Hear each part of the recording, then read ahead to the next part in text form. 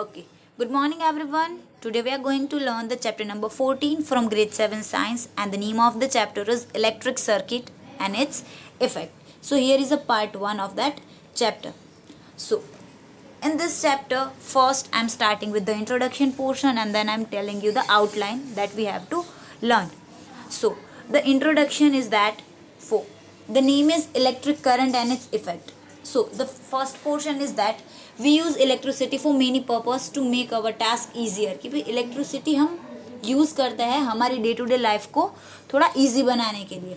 For example we use electricity to operate that lift water from well from ground level to the roof top tank कि भाई हम electricity कहाँ पे use करते हैं? हमारे रूटीन लाइफ में। घर पे जो पानी की मोटर होती है ना बोरवेल से ग्राउंड को ऊपर तक चढ़ाने के लिए that is with the help of electricity then आपके घर पे जितनी भी लाइट होती है लाइट बल्ब ग्लो होता है रोड के ऊपर लाइट होती है मार्केट में होती है फैक्ट्रीज के अंदर मशीनरीज वर्क करती है तो सनसेट के बाद ये सारा वर्क होता है इलेक्ट्रिसिटी की हेल्प से।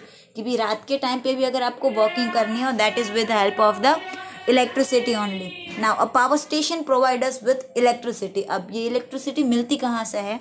We got it from power station अब जब पावर का सप्लाई ना हो, तब क्या होता है? हमारे घर पे लाइट चली जाती है। At the time we have to use torch कि भाई टॉर्च को हम क्या करते हैं? यूज़ करते हैं।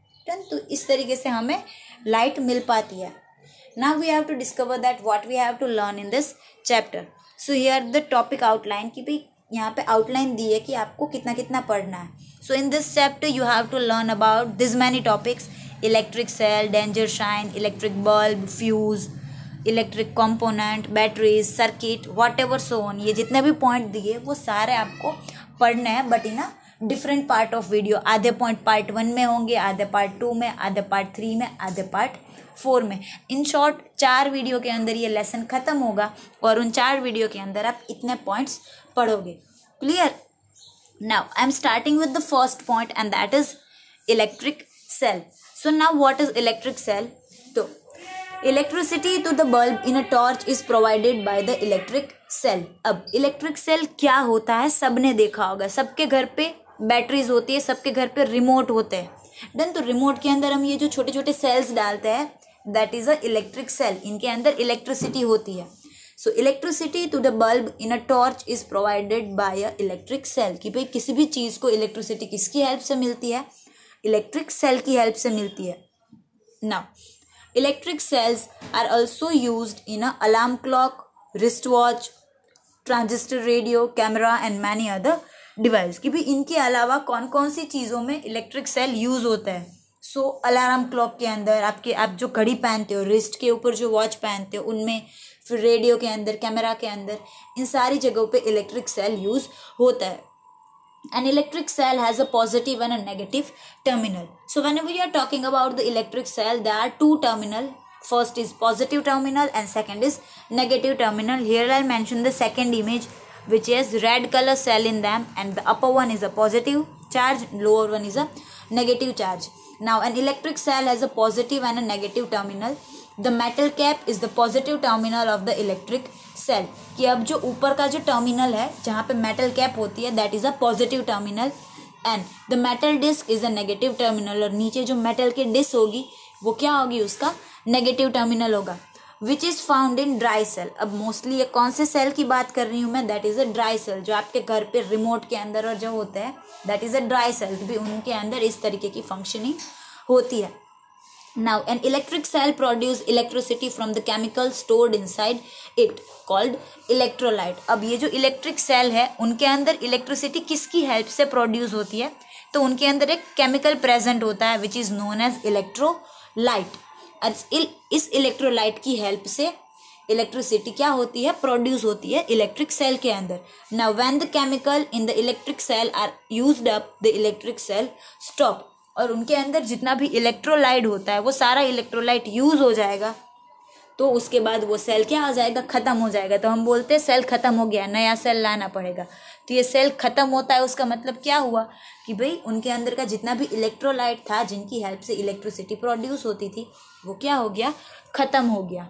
Okay now the next point that is a danger sign कि भाई डेंजर साइन क्या होती है? तो this one is just a normal overview ये इन डिटेल पढ़ने की ज़रूरत नहीं है आपको बट मैं आपको बता दूँ कि क्या होता है। तो जहाँ पे भी आपको डेंजर साइन दिखे दैट मीन्स कि यहाँ पे जाना क्या होता है? मना होता है। ऐसी जगहों पे एकदम हाई इलेक्ट्रिक पावर होता है।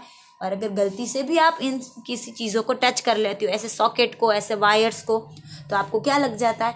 शॉक लगता है करंट लगता है। और ये करंट इतना पावरफुल होता है कि भी इंसान की डेथ भी हो जाती है। इसीलिए ऐसी जगहों पे जाना डेंजर होता है, इसीलिए वहाँ पे डेंजर की साइन मारी होती है कि भाई जहाँ पे भी डेंजर साइन मारी हुई हो, वहाँ पे क्या होता है ह्यूमंस का या एनिमल्स का किसी का भी जाना क्या होता है, मना होता है। Then so this is about the danger sign already बच्चों को पता ही होता है डेंजर साइन क्या होती है। Then also this one is just for a knowledge then the next point that you have to learn and that is electric bulb कि electric bulb क्या होता है? That you have to learn so electric bulb की एक मैंने image दिखाई हुई है that this one is a image of electric bulb पहले के ज़माने में ऐसे ही बल्ब होते थे. अभी ये सी एफ़ एल वगैरह आ गए बाकी पहले ऐसे बल्ब होते थे जो एकदम येल्लो लाइट देते थे. So that is a electric bulb तो इनका स्ट्रक्चर क्या होता है? इनके अंदर टोटल कितनी चीज़ें होती है? सो so, मैंने बल्ब की भी दो इमेज दिखाई हुई है. The down image is a normal image and the upper one is a with label diagram कि सबसे नीचे होगा उसका टर्मिनल जिसको हम होल्डर के अंदर फिट करते हैं। देन उसके ऊपर जो कोटिंग होती है that is a glass mold की, ऊपर की साइड जो होता है, वो ग्लास होता है। देन उनके सेंटर में जो आपको जो ऐसे दो बड़े बड़े वायर्स दिख रहे हैं दैट इज़ अ फिलामेंट और इस पूरे डायग्राम को क्या बोला जाता है? इलेक्ट्रिक बल्ब बोला जाता है। Now an electric bulb is a device which produce light when electricity is pass through its filament कि इलेक्ट्रिक बल्ब होता क्या है? सो इलेक्ट्रिक बल्ब एक डिवाइस है जो क्या करता है लाइट को प्रोड्यूस करने का काम करता है। अब लाइट किस तरीके से प्रोड्यूस होगी? Electric bulb is a device which produce light कि जब इनमें से इलेक्ट्रिसिटी पास होगी, कि जब आप उनके फिलामेंट में से इलेक्ट्रिसिटी पास करवाओगे, तब क्या होगा? इनके अंदर लाइट प्रोड्यूस होगी। Now the bulb has two thick connected contact wire in the center with a thin wire attached between them this thin wire is called filament कि ये जो इलेक्ट्रिक बल्ब होता है उसके अंदर दो वायर्स होते हैं, जो यहाँ पे आपको ऑलरेडी दिख ही रहा है कि ये जो दो वायर होते हैं और वो जो दो वायर है, वो सेंटर में एक पतले से वायर के साथ जॉइंट हुए होते हैं और ये जो पतला सा जो सेंटर वाला वायर है that is known as filament done की दो वायर्स के बीच में जो छोटा सा वायर होता है, पतला सा जो इन दोनों वायर्स को अटैच करता है that is known as filament done now One of the thick wire is connected to the metal case at the base of the bulb and the other is connected to the metal tip at the center of the base. अब ये जो filament है उसके बाजू में से दो wire निकल रहे थे वो दो वायर में से एक वायर कहाँ पे कनेक्टेड होगा नीचे वाला जो टर्मिनल दिख रहा है ना वहाँ पे एक मेटल की कैप होती है वहाँ पे जॉइंट होता है और दूसरा वाला वायर उनके सेंटर में जॉइंट होता है जिसकी हेल्प से इलेक्ट्रिसिटी पास होती है। क्योंकि जब आप बल्ब को ऐसे उल्टा करके देखोगे ना तो उनके अंदर भी दो टर्मिनल होते हैं और फिर जब आप होल्डर देखते हो ना तो उस होल्डर के अंदर भी दो टर्मिनल होते हैं। तो इनके जो दो वायर्स है ना, उसमें से एक वायर वो नीचे वाले एंड पे जॉइंट होता है और दूसरा वाला वायर यहाँ पे जो सेंटर पोर्शन दिखाया है, वहाँ पे जॉइंट होता है। तो इस तरीके से क्या होता है, उनमें से इलेक्ट्रिसिटी पास होती है।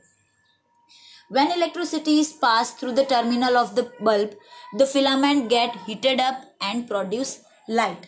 कि जब इनमें से इलेक्ट्रिसिटी पास होगी अब आप क्या करोगे? वो जो बल्ब था उसका नीचे वाला पोर्शन आप होल्डर के अंदर घुसाते हो। डन तो होल्डर के भी दो टर्मिनल और बल्ब के दो टर्मिनल क्या होता है? एक दूसरे के साथ जॉइंट हो जाते हैं और इलेक्ट्रिसिटी क्या होती है? इनमें से पास होती है। तो इलेक्ट्रिसिटी टर्मिनल के थ्रू बल्ब के अंदर एंटर करेगी। और ये जो अंदर वाला फिलामेंट है, वो फिलामेंट क्या होगा? गर्म होगा। और फिलामेंट गर्म होने की वजह से वो क्या करेगा? लाइट प्रोड्यूस करेगा। The two terminal do not directly touch each other to avoid short circuit की ये जो दोनों फिलामेंट होते हैं, वो डायरेक्टली एक दूसरे को टच नहीं करते। अगर वो डायरेक्टली एक दूसरे को टच करते हैं तो उनकी फिलामेंट क्या होती है? सर्किट शॉर्ट सर्किट हो जाती है। इसीलिए वो कभी एक दूसरे को डायरेक्ट टच नहीं करते। Now the next one and that is fused bulb कि फ्यूज्ड बल्ब क्या होता है?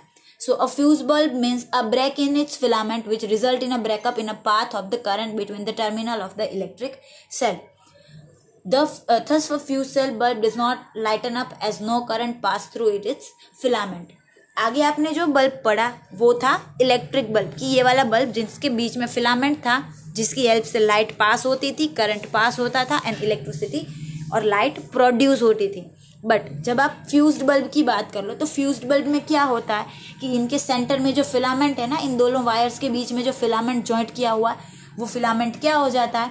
टूट जाता है। अब फिलामेंट टूटने की वजह से क्या होगा? ये सर्किट टूट जाएगी। एक वायर से करंट आया तो वो वायर वो करंट दूसरे वायर तक पहुँचने के लिए बीच में फिलामेंट होना चाहिए। बट ये फिलामेंट टूट गया है दैट्स वाई करंट एक जगह से दूसरी जगह पे नहीं पहुँच पाता और सर्किट क्या हो जाती है? टूट जाती है। और ऐसे जो बल्ब होते हैं, जिनके अंदर का फिलामेंट टूट गया होता है, वो इलेक्ट्रिसिटी पास नहीं कर सकते एक साइड से दूसरी साइड इसीलिए ऐसे बल्ब लाइट भी नहीं दे पाते। ओके क्लियर तो ये हुए फ्यूज्ड बल्ब सो आज के लेक्चर में बल्ब के बारे में आपने पढ़ा एंड नॉर्मल इंट्रोडक्शन पढ़ा। Okay thank you everyone have a good day